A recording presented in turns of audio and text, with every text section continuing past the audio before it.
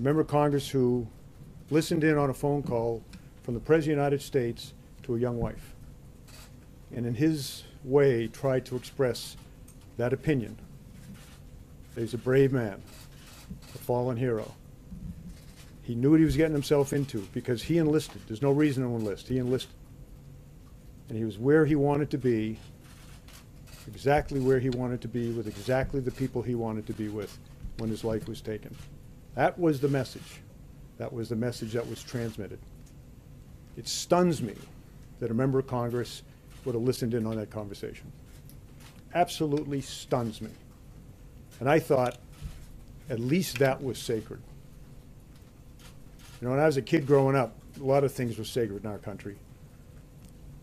Women were sacred and looked upon with great honor. That's obviously not the case anymore, as we see from recent cases. Life, the dignity of life, was sacred. That's gone. Religion, that seems to be gone as well.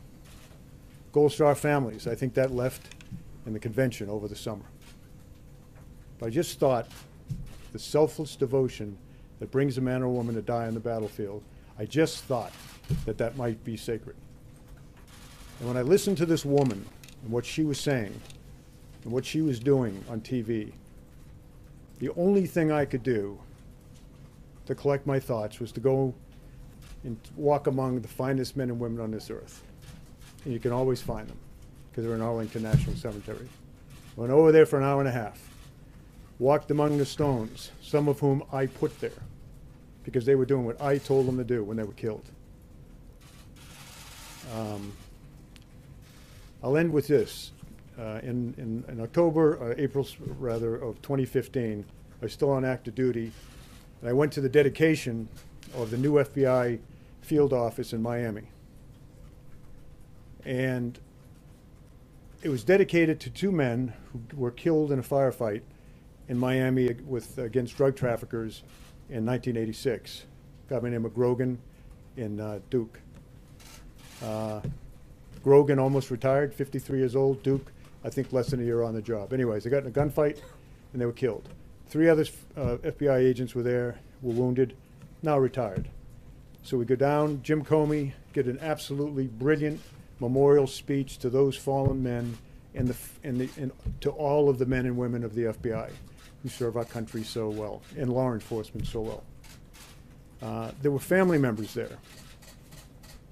Some of the children that were there were only three or four years old when their dads were killed on that street in uh, Miami-Dade.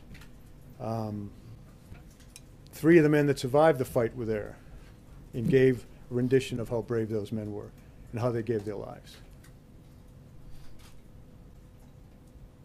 And a congresswoman uh, stood up, and in the long tradition of empty barrels making the most noise, stood up there and all of that and talked about how she was instrumental in getting the funding for that building and how she took care of her constituents because she got the money and she just called up President Obama and on that phone call he gave the money, the $20 million to build the building. And she sat down and we were stunned. Stunned that she'd done it. Even for someone that is that empty a barrel.